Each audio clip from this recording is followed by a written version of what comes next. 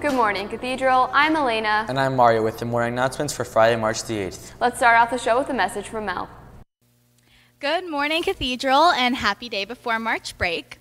Typically, when I come on to news, I'm normally speaking on behalf of the Student Council, but today is a little bit different. I have been honored to be elected in September, this past September, as the student trustee for the 2018-2019 term, meaning I represent all 30,000 student voices in the HWCDSB at a provincial level. The organization I work with, the Ontario Student Trustee Association, or OSTA for short, is a collective group of all of the student trustees in Ontario, kids just like me.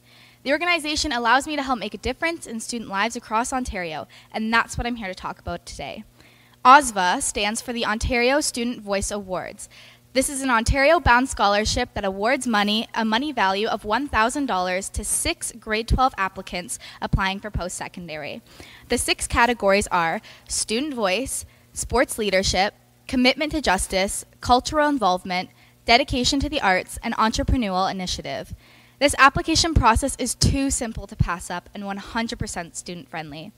All you need to do is answer two questions and provide a reference letter. That's it. The category of the dedication to arts is the only category where you must provide an example of the art you create, but that shouldn't stop you. This award is very close to my heart because I'm a part of the selection and review committee this year, and I want to see tons of cathedral applicants. So grab your favorite teacher or work supervisor and apply to this bursary. The application deadline is March 30th. If you have any questions about OSVA or even my position as student trustee, I would be more than happy to chat about it. That's it from me. Now I'll pass it over to Nathan from Yahweh. Thank you, Melena. Good morning, Gaels. Uh, I won't keep you too long, and uh, I just wanted to offer you an opportunity that's too excitable to miss. So, uh, in partnership with Rising Stars, Niao Cathedral has finally received our lacrosse sticks. We have 18 of them now.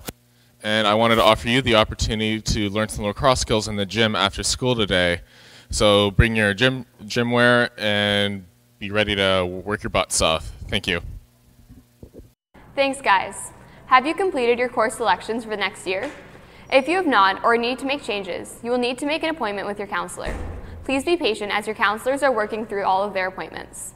The ability to make selections or changes on MyPath is no longer available as that function is now closed. For those students who have not yet submitted the $40 cash or check, you may do so during your lunch. For your convenience, School Cash Online is now open for the next two weeks for your payment of your $40 activity fee. MyPath is still open for your is still open for you to select your courses. Next week's March break is a great time to get your Christian service hours. You can check hwcdsbcs.ca for opportunities. And for graduates, all college and universities offer open houses during March break. You should check out einfo.ca slash Ontario or einfo.ca, ontariocolleges.ca, or the college or university individual websites for more information. Applications for the 2019 Cultural Bursary Award in honor of Maria Settesima Del Monte are now available in guidance. This bursary is open to any grade 12 student attending a post-secondary institution and is following of Italian descent. Please see Mr. Nora for applications. There will be a junior and senior badminton open gym taking place next week during the break. Members are welcome to the open gym on Thursday, March 14th from 12 to 2 p.m. Thanks from Mr. John.